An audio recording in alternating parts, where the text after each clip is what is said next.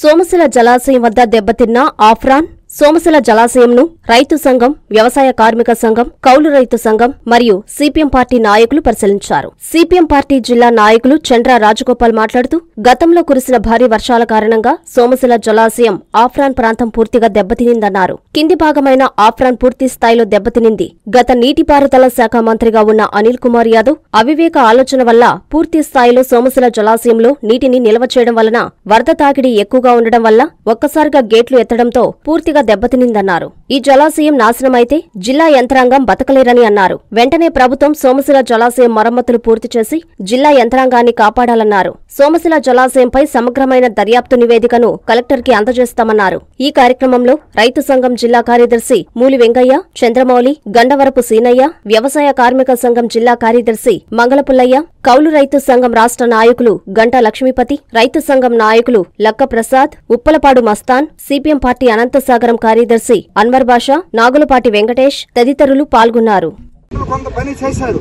ఆ పని కూడా చాలా నాసిరకంగా చేశారు. కానీ వాళ్ళు బిల్లులు చెల్లించుకున్నందువల్ల సుమారు ఇరవై కోట్ల చిల్లర పని చేసి వాళ్ళు వదిలేసి వెళ్ళిపోయినారు. కానీ ప్రభుత్వం అప్పటి నుంచి ఇప్పటి వరకు పట్టించుకోవాలి ఈ రోజు గతంలో అప్పుడు వచ్చినంత వర్షాలు కానీ అంతకన్నా పెద్ద వర్షాలు కానీ వస్తే ఏమైపోద్దో అర్థం కాని పరిస్థితి. ఈ ప్రాజెక్ట్ కింద అనేక ఊర్లు కొన్ని లక్షల గ్రామ కొన్ని లక్షల ప్రజానికి ఉన్నారు ఈ వరదల వల్ల అటువంటి ప్రమాదం జరగబోయే పరిస్థితి ఉంది.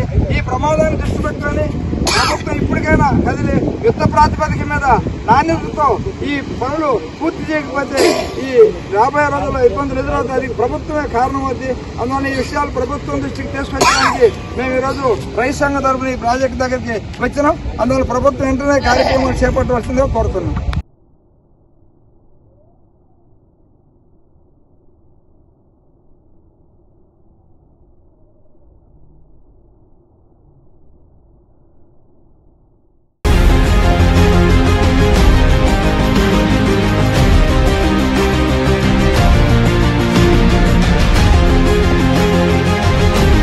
Doctor Ramaswamy super speciality hospitals కావలిపట్టణ మరియు పరిసర ప్రాంత ప్రజలకు శుభవార్త. Doctor M Ramaswamy trauma spine కీళ్ళ మార్పిడి స్పెషలిస్ట్. మోకాళ్ళ మార్పిడి తుంటి మార్పిడి ఆపరేషన్లు చేయబడును. విరిగిన ఎముకలకు వెన్నుపూస ఆపరేషన్లు అత్యాధునిక పద్ధతుల ద్వారా చేయబడును. డాక్టర్ పి పుష్పిక గుండె ఊపిరితిత్తులు షుగర్ అండ్ రుమటాలజీ వ్యాధుల వైద్య నిపుణులు. Doctor T Sudeep Yadav general మరియు ఎండోస్కోపీ అండ్ లాప్రోస్కోపిక్ సర్జరీ నిపుణులు.